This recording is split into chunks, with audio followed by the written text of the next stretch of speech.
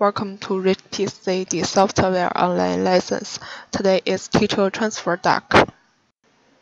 First, uh, we choose this tool. Check the transfer line.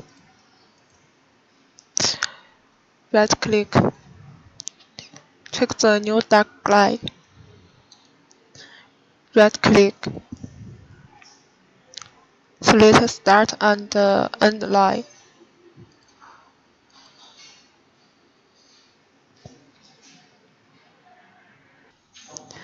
Another case. Transfer part of the dart.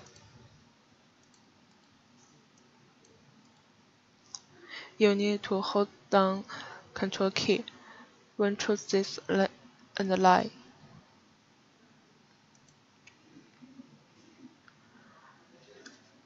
Input date. Click OK. Thanks for watching today's video. See you tomorrow.